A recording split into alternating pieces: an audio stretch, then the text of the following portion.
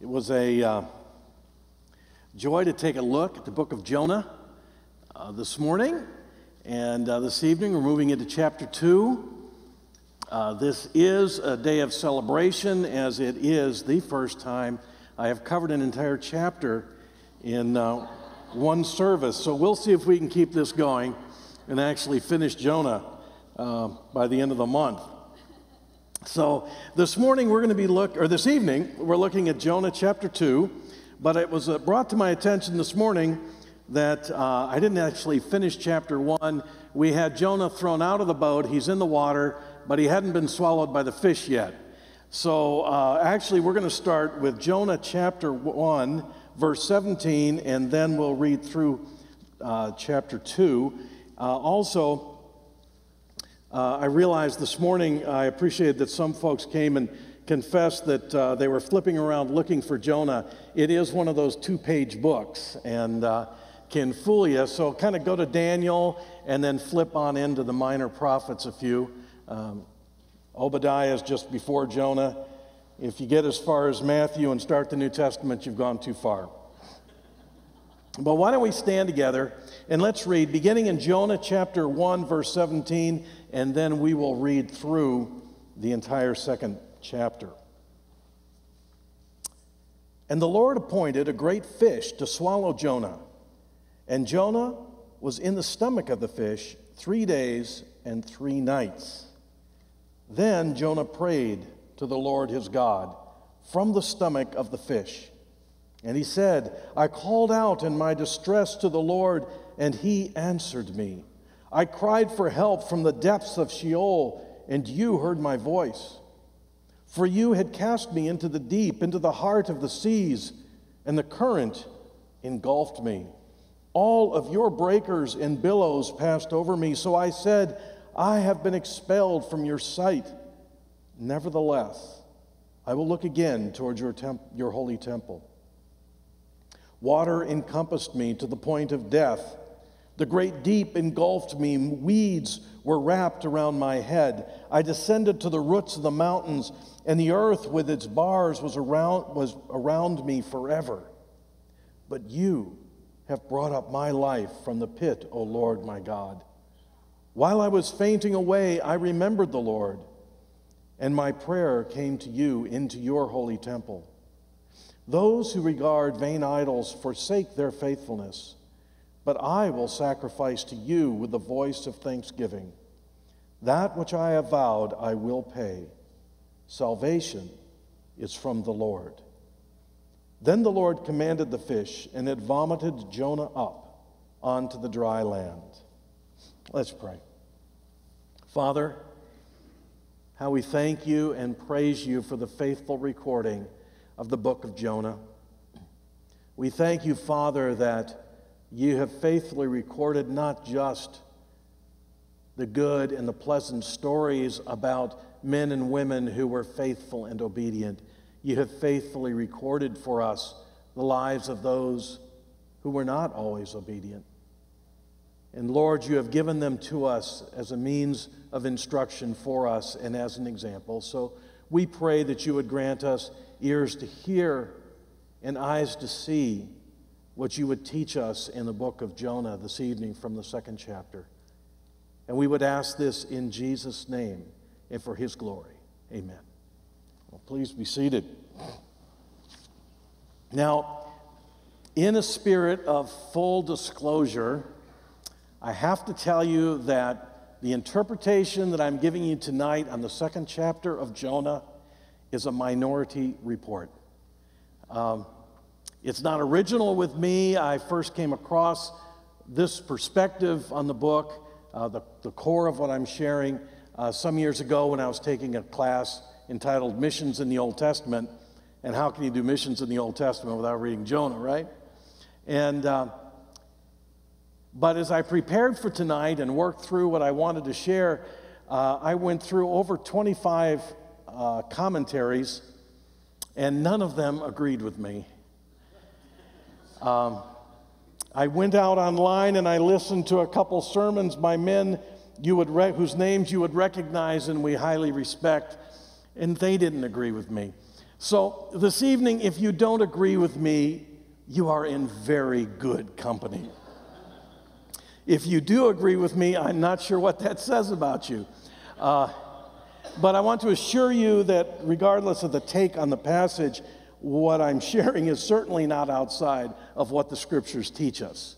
Um, but it is a take on Jonah that, uh, uh, and on this prayer that is a little different than what we normally may read. And you might have picked that up from the title of the message, which is The Art of Being a Biblical Bigot. Um, because as I read this prayer in context, I hear the prayer of a man who is still insisting before God that he is right and God is wrong. Most of that context will be seen as we walk through the prayer tonight, but I would like to give a little bit of context in the book, and that is this morning as we read in chapter 1, it was very clear that Jonah is in a deep disagreement with God. By the time he gets dropped into the water, he has not agreed with God.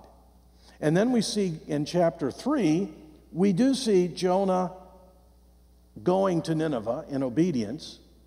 And we'll look at that uh, and see actually that the focus there is not so much on Jonah, but what on the amazing thing that God does, what happens in Nineveh. But then we get to chapter 4, and very clearly Jonah hasn't changed his mind. Jonah is insisting in chapter 4 on the same reason that he ran in chapter 1. There's been no change in Jonah. So to see repentance or a turn of change of heart in chapter 2 makes no sense in light of what's happening in chapters 1, 3, and 4. Now, as we get in, we'll also, as we get into the passage, we'll also see uh, where I believe uh, there's, there's still a high handed raised fist of rebellion on Jonah's part toward God. It has to do with that what Jonah says and what Jonah doesn't say. So we saw this morning that the motivation of Jonah's fight against God, his flight from God, was that he, he, he is a uh, racist and uh, he is a nationalist. And on that basis, and because he wants to defend Israel before he wants to obey God, he flees from God. And so, uh, again, I want to point out that when I speak of uh, being a nationalist or, or national, I'm not speaking of a proper love for our country, a proper appreciation for, for what's enjoyed by those who are citizens of a nation.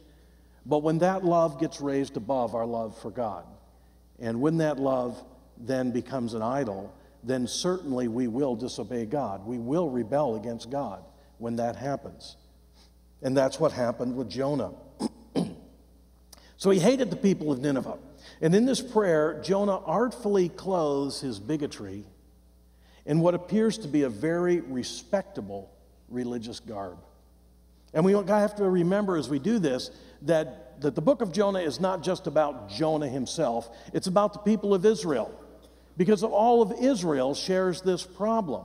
Through all of Israel's difficult history, most of its time of disobedience, they still had the temple functioning.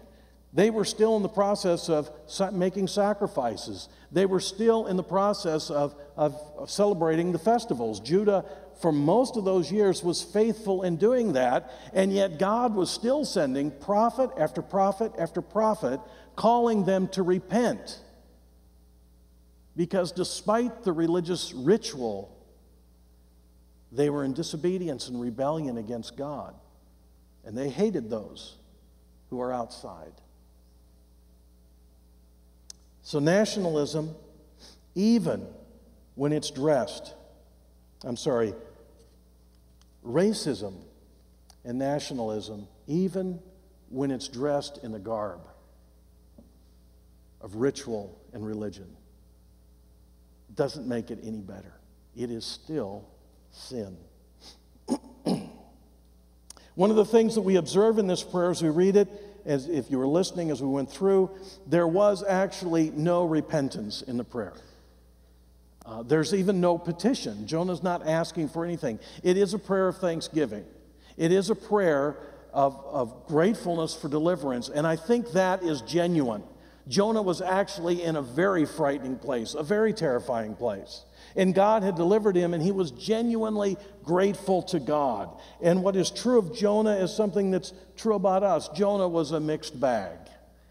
It was very possible for Jonah to be truly grateful to God for God's deliverance and at the same time still be in rebellion against God. I should say this as I get started too, because uh, in verse 17 we saw of, of chapter 1, we saw Jonah get thrown into the water and he's swallowed by a great fish. And uh, usually that's all that it's about when we talk about Jonah. But I, I, I, if, if I don't say something, then everybody will ask uh, what swallowed Jonah? A great fish. God appointed a great fish to swallow Jonah. Uh, not a whale, there would have been a word for that. It's a great fish. Can great fish swallow people whole? Probably not. Did this one swallow Jonah whole? Yes. This book is full of miracles. The storm was a miracle. The stopping of the storm is a miracle. The, the conversion of, of Nineveh is a great miracle. The growth of the vine is a miracle. The death of the vine is a miracle. Everything in this book is a miracle. We don't need to make this fish story anything else. This is a miracle. Some kind of fish swallowed Jonah, and he was down in those juices without air for three days. That's a miracle. God is doing miracles in this book. So I can't explain about the fish and about Jonah in three, down there for three days, except that, that God chose to work this way. So the title is How to Be the Art of Being a Biblical Bigot. And what I'd like to do is look at the qualities of, we see of a biblical bigot in Jonah's life. And uh, the first one is uh, to be a biblical bigot, we need to know the Word of God, but reject the heart of God. To know the Word of God, but reject the heart of God. You'll note that uh, in print, uh, I have the word biblical and biblical uh, bigot in quotes because, in fact, it's not possible to be biblical and a bigot at the same time. However, to look at Jonah, you wouldn't know that. He does very well handling the Word of God and managing to be a bigot all at the same time. He was a master of the Bible, and still he was a bigot. He was controlled by pride, he was controlled by hate, not by the Spirit of God. So Jonah clearly knows the Word of God. Well, there's only probably one actual quote from a psalm in this prayer. The entire prayer just parallels the Psalms. He's obviously a man who knows the Psalms. The clear parallels here between Psalm 18, Psalm 42, Psalm 88, Psalm 120, Psalm 130. Just constantly, his, his, his frame of reference is clearly the Word of God and the Psalms, and he handles them so well. When he explains in chapter 4 why it is he's rebelling against God, why he didn't want to go to Nineveh, he quotes the very words of God spoken to Moses back in Exodus chapter 34. So Jonah was a scholar of the Word. He knew the Word well, but he did not know the heart of God. And for those of us who are people who treasure the Word of God, we must always be sensitive to this, the possibility of this sin. Because we rightfully treasure and hold the Word of God in a place of respect and honor. And we do that rightfully. And groups who do that have a tendency to sin in this area. So we must be careful. Paul himself warned the church in Corinth about this. In 2 Corinthians 3 6, he's speaking and he says, God, who also made us adequate as servants of a new covenant, not of the letter, but of the Spirit. For the letter kills, but the Spirit gives life. The Word of God, apart from the Spirit of God, kills. That's what he's saying. The Word of God, apart from the Spirit of God, kills.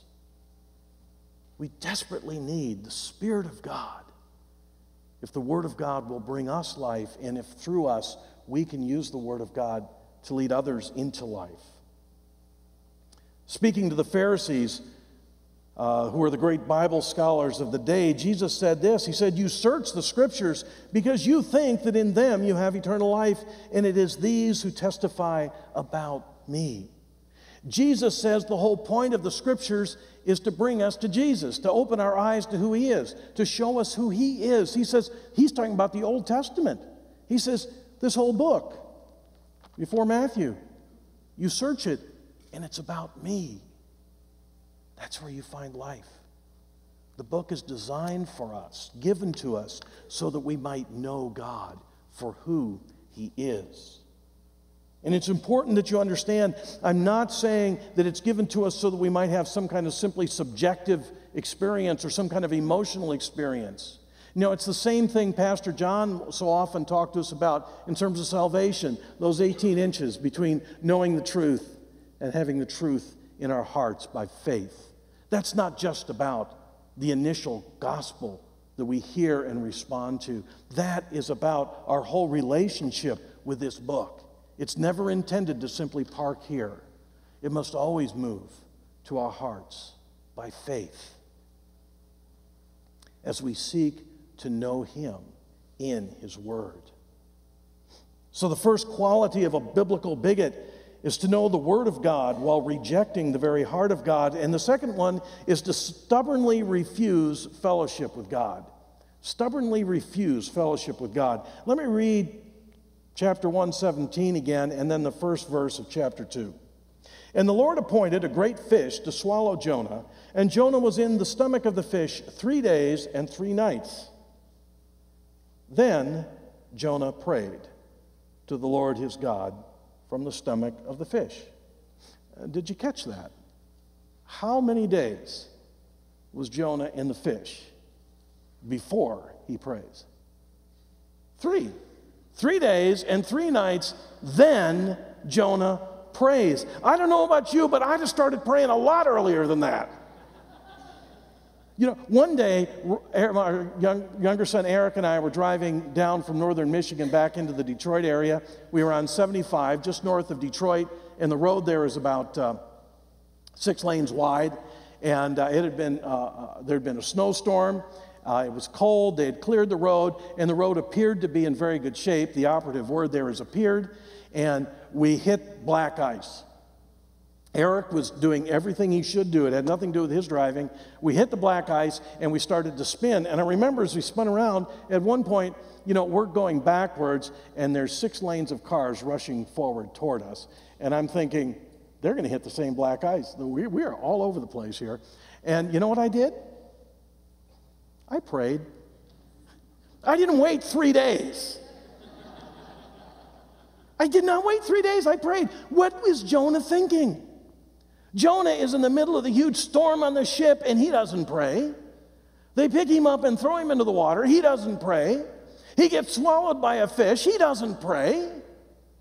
He's in the fish one whole day, one whole night. He doesn't pray. Second day, second night, he doesn't pray. Third day, third night, and he prays. What is going on? Well, remember what we saw this morning in the first chapter. Jonah would rather die than obey God. Jonah would rather die than talk to God. He's down in that fish just like this. You can't make me go to Nineveh. About day three, maybe he's changing his mind. He probably decided he can't wait God out. Actually, because he's a type of Jesus because Jesus said as Jonah was three days, three nights in the whale or in the fish, uh, he was going to come out of that fish. But Jonah's down there and he's refusing to pray because he's into this disagreement with God. He's at war with God. And he's refusing to talk to God. And he stays in there and he refuses to talk to God.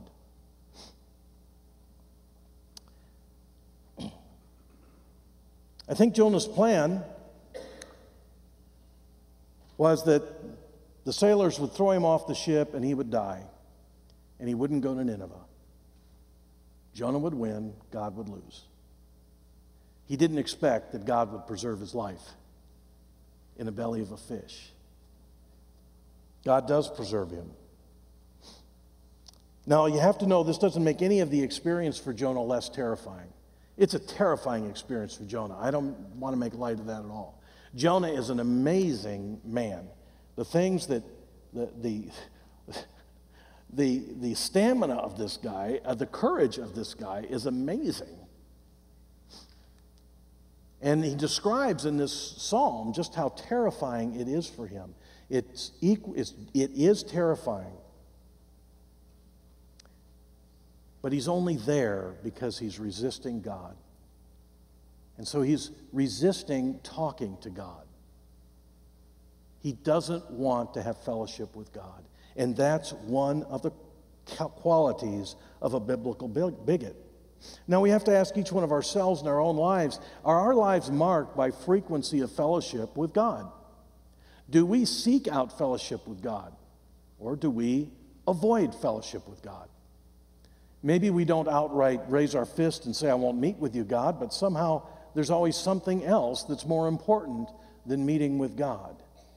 We're not hungry for fellowship with Him.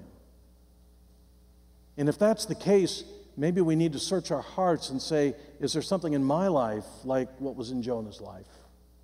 Is there an area of disobedience I need to repent from? So that, as the psalmist says, that, that uh, delight in the Lord would be rekindled. So, qualities of a biblical, biblical bigot to know the Word of God but reject the heart of God, to stubbornly refuse fellowship with God, and to blame God for the suffering that results from my sin. Look at verse uh, 3. Verse 3 For you, 3 in the beginning of 4. For you had cast me into the deep, into the heart of the seas, and the current engulfed me, and all your breakers and billows passed over me. So I said, I have been expelled from your sight. When did that happen? When did God expel Jonah from his sight? Didn't happen. Never happened.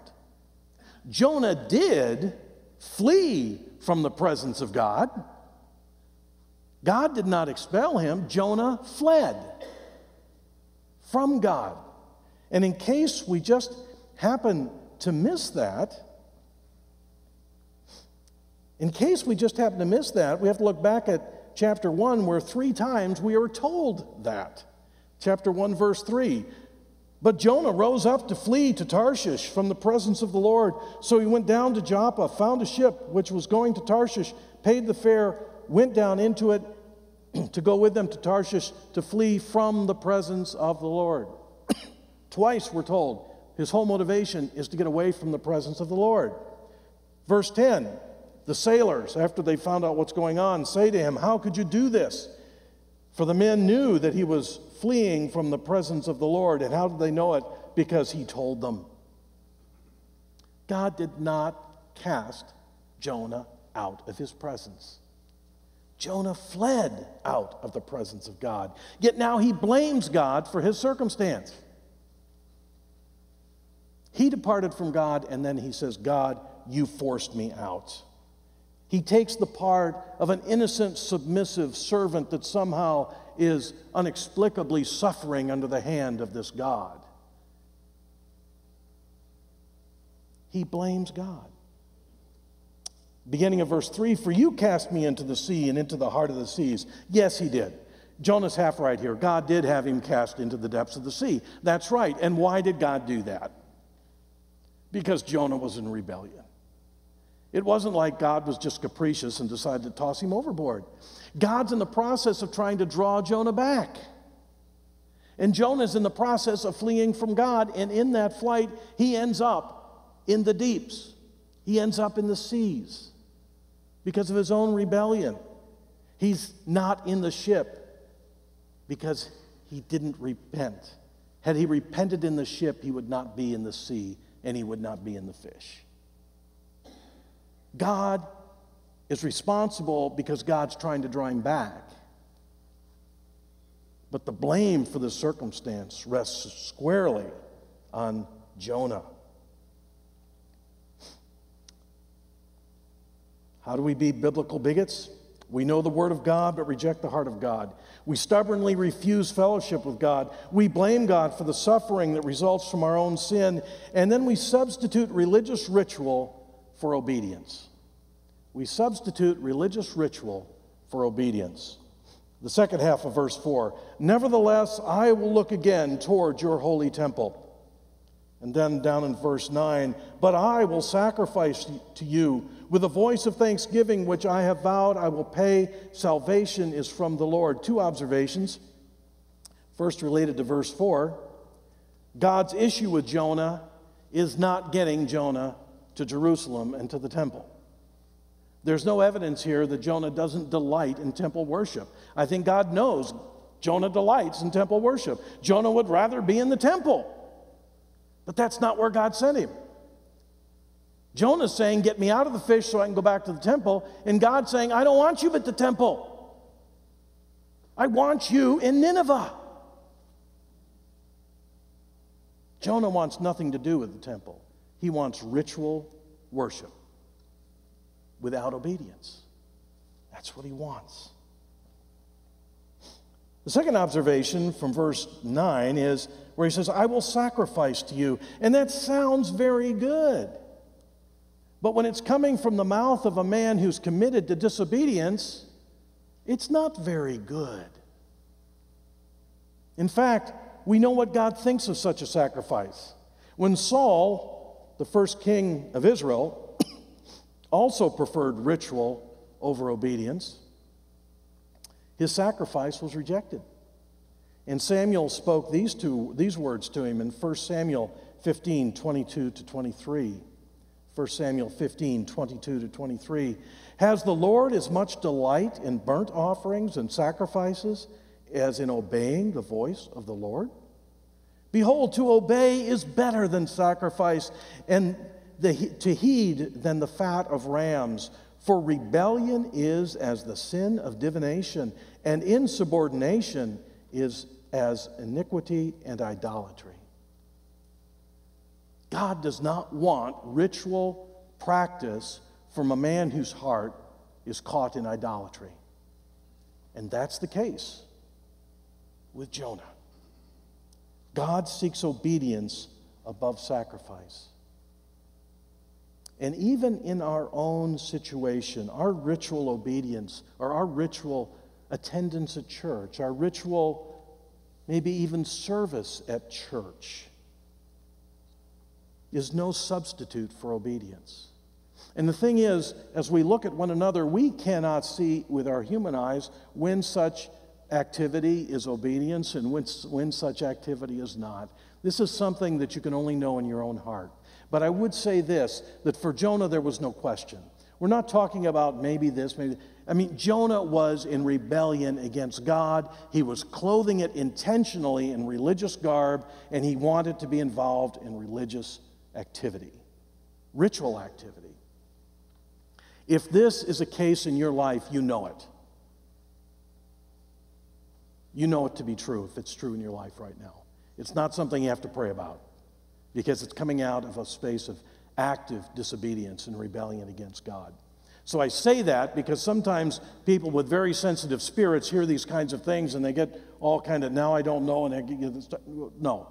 Jonah was in open rebellion against God and yet pretending to be religious. That's what God cannot tolerate.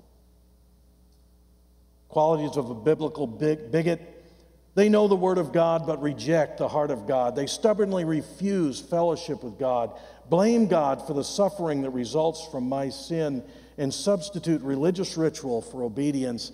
And finally, correct God's theology. Correct God's theology. Verse 8 and 9. Well, let me just read just verse 8. Jonah's praying, Those who regard vain idols forsake their faithfulness. Kind of a strange verse. What's, what's he saying? What's he saying here? Verse 8 is perhaps the most disturbing verse in the prayer because in it, Jonah is correcting what he believes to be God's mistakes, God's misdirected compassion. And John, Jonah is explaining to God why his racism and why his nationalism is appropriate and why it's okay. And the reason this is such a disturbing verse is that it almost sounds right. Jonah does a good job here. So, who is Jonah talking about in this verse? Who is he thinking about? Who are the idolaters that this book is about? It's about Nineveh, right? We're talking about Nineveh. Those idolaters are the ones he's talking about. He's reminding God about those idolaters, and then he says, they forsake their faithfulness. What does that mean? New King James says, forsake their own mercy. The ESV says, forsake their hope of steadfast love. But I think the NET says it in a way that we actually can grasp and understand what it is at the heart of Jonah's prayer. He says, they forfeit the mercy that could be theirs. Idolaters have forfeited the mercy that could be theirs. If I might paraphrase Jonah, then he's saying, God, you are wrong to offer mercy to those Ninevites. They are idolaters, and they have forfeited that right. You are wrong, God, to offer them what they have forfeited. They have no right to it. God, I am the one who is right. I recognize what's just here. Now, we know that Jonah does end up going to Nineveh, but it's not because he agrees with God. Again, we'll see that. He doesn't agree with God to the end of the book. That's made clear.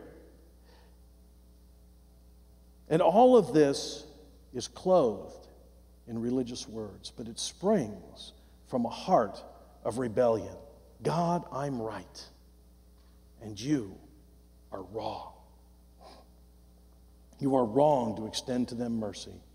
When we begin to instruct God, when we begin to explain to God why that person ought not be forgiven, when we begin to explain to God why that person ought not be loved, because we know what God doesn't know,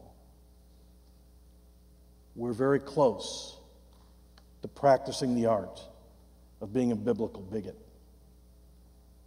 Well, then God commanded the fish and it vomited Jonah up into the dry land. I believe the word vomit was not a random vocabulary choice of God. I think it reflects God's response to the prayer of Jonah and to the fact that God is still going to put Jonah where God wants Jonah, regardless of how careful he has been to couch all of this in religious sounding terminology. Now, despite all the flaws in Jonah, despite his unrepentant heart, despite his racism and his nationalism and his refusal to obey God, his desire to, this manipulative prayer that he comes up with, God still delivers him. Hallelujah. As I said this morning, if we just look at Jonah, this is a discouraging book, but when we look at what God is doing, it's encouraging. God is using all of these things to deliver Jonah from his own hatred, his own bigotry, his own pride, and conform him to the Lord Jesus Christ. And, brothers and sisters, what's encouraging about that is that that is the way God is with all who are in covenant with him. He is committed to each one of us in the same way, regardless of how good we are at running away, at avoiding him. He is always working to draw us back into fellowship with himself. He is more concerned about our transformation into Christ likeness than we are. For Jonah, it was racism and nationalism. Perhaps for some of us, it's many other things. Could be dishonesty, could be destructive speech, could be sexual immorality or impatience or greed. The list goes on and on. But know this God's love is stronger than our sin. His compassion toward us is as great as his limitless power. And he is always at work in our lives through the storms and through the times of quietness to draw us back to himself.